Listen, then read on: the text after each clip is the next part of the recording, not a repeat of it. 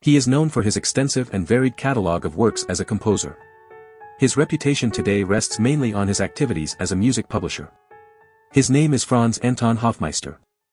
In the world of classical music, one name stands out as a legendary figure, Franz Anton Hoffmeister. Born in Rottenburg am Neckar on May 12, 1754, Hoffmeister initially pursued a career in law.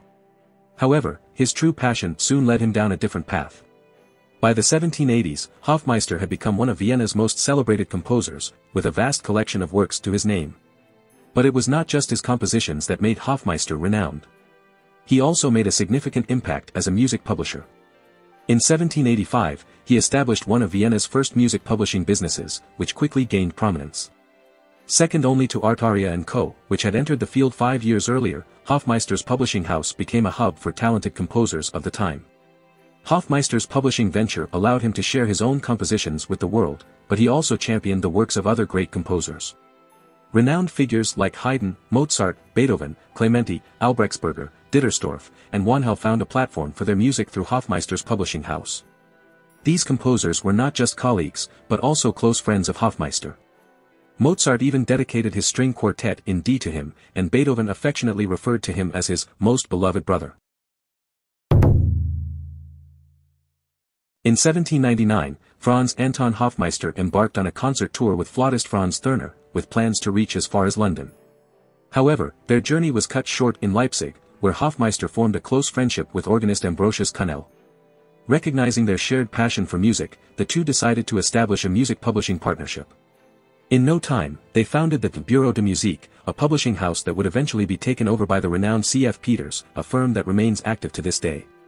Hashtag continue Hashtag One of the notable achievements of the Bureau de Musique was the publication of the first edition of Johann Sebastian Bach's keyboard works in 14 volumes. This groundbreaking publication solidified Hoffmeister's reputation as a composer and publisher of great importance. In fact, Friedrich Hofmeister, a publisher who would later make significant contributions to the music industry, learned the trade while working as an assistant in the Bureau de Musique.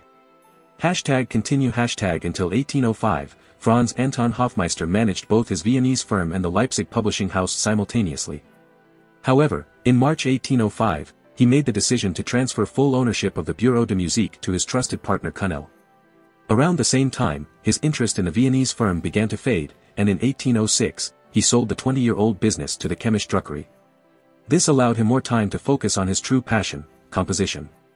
Hashtag continue hashtag as a composer, Franz Anton Hoffmeister gained high respect from his contemporaries. His talent and contributions to the music world were acknowledged in Gerber's Neues Lexikon der Tonkünstler, which was published in the year of his death.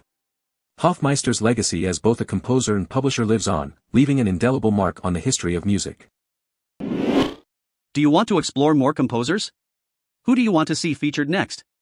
Subscribe and leave a comment below to let me know. I'll see you in the next video.